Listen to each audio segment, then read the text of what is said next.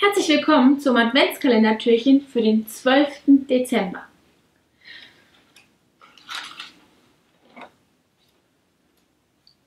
Heute basteln wir einen Divider für unseren Planer. Ja, für unseren Divider brauchen wir erstmal die Größe des Planers. Ich habe hier einen Aaron Condon Planer. Welchen auch immer ihr nehmt, ist völlig egal. Ihr könnt den Filofax nehmen, ganz egal. Wichtig ist, dass ihr ein Blatt davon einmal rausnehmt. Ihr seht, ich habe das auch nicht im Aaron Condon, sondern ich habe den sogar noch im Becky Higgins Planer. Und leg das jetzt mal weg. Und ähm, wichtig ist halt die Größe hier. Und die werde ich jetzt mal hier einfach drauflegen. Planerblatt. Dann brauchen wir ein Scrapbook-Papier. Das ist so ein bisschen dickeres Papier. Also jedes dickere Papier tut es im Prinzip. Ihr seht, das hier ist von zwei Seiten. Deswegen fand ich das sehr schön. Ähm, dann brauche ich noch ein Lineal.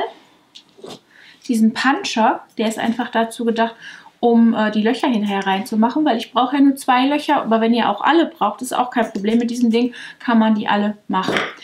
Und dann brauche ich noch hier so ein Klebeband, weil ich möchte an meinen Divider natürlich so einen Schnibbel dran bauen. Und den mache ich damit ein bisschen fester. Ja, den nehmen wir gleich. Gut, also erst einmal mache ich jetzt hier das Blatt so groß wie das hier. Ich habe jetzt hier so ein Schneidegerät, braucht ihr auch nicht. Ihr könnt das schlicht und einfach mit der Schere schneiden. Ich habe nur gedacht, geht zum einen schneller und zum anderen ist das äh, natürlich auch etwas ordentlicher. Machen wir jetzt hier nur so kleine Markierungen. So. Ich glaube, das Lineal erübrigt sich gerade.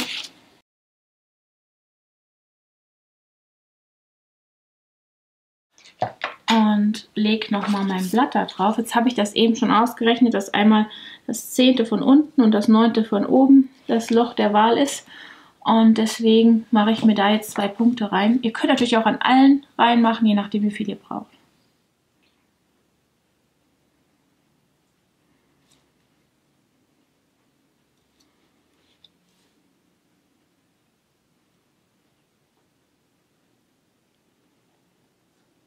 So.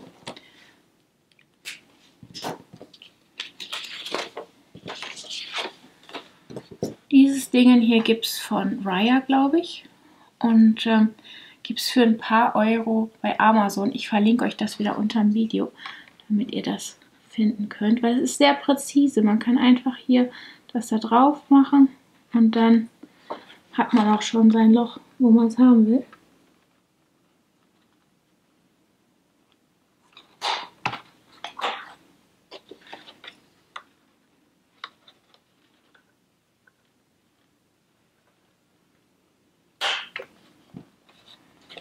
Mit diesen Lochern, mit diesen größeren Lochern bin ich immer so ein bisschen auf Kriegsfuß. Deswegen ist das super. So, und jetzt kann ich zum einen das wieder reinpacken. Und zum einen lege ich das schon mal hier drauf. Ja, und ihr seht, schon ist das Ganze fertig. Soweit erstmal der Divider. Jetzt brauchen wir hier noch so einen kleinen Schnibbel dran. Ja, dafür nehme ich das nochmal raus. Weil, seht, das Blatt ist schön stabil.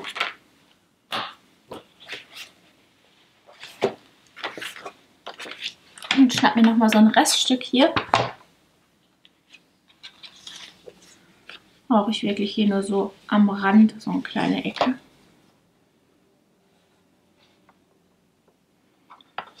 Nur doppelt so breit machen, weil ich das ja gleich umklappen will.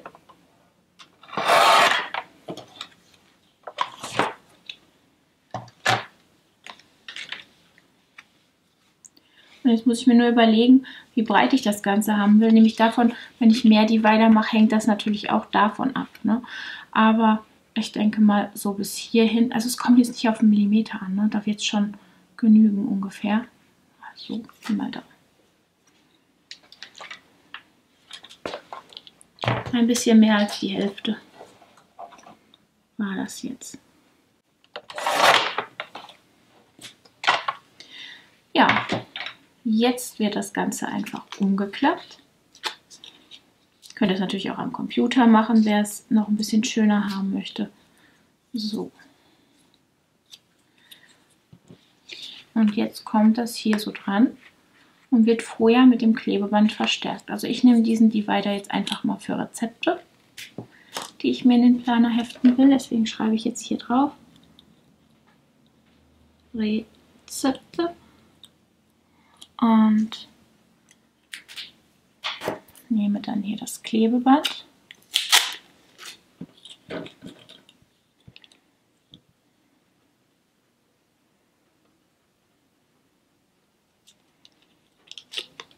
Seht ihr schon, das Klebeband ist weniger breit als mein Tag hier.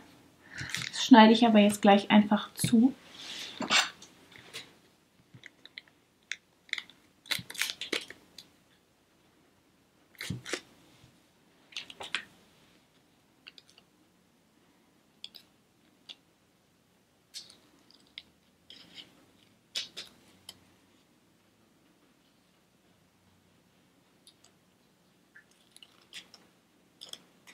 Ja, und hier können wir auch noch ein bisschen schneiden an den Rändern.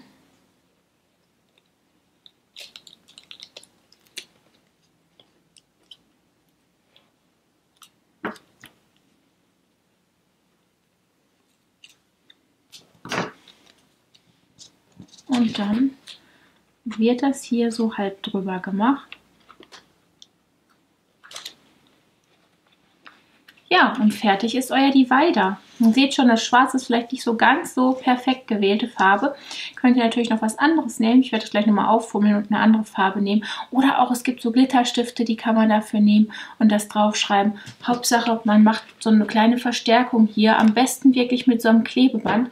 Ähm, ist einfach dafür, man blättert es da immer um, man packt das immer an und äh, deswegen ist das schon ganz gut, wenn das so ein bisschen geschützt ist. Ja, so einfach könnt ihr einen Divider herstellen. Ich hoffe, das Video hat euch gefallen. Falls ja, bitte den Daumen nach oben. Falls nicht, erzählt es uns. Ähm, und ansonsten könnt ihr uns natürlich noch abonnieren. Dann bekommt ihr nämlich jeden Tag so ein schönes Video von uns. Und ähm, ja, ich freue mich auf euch im nächsten Video.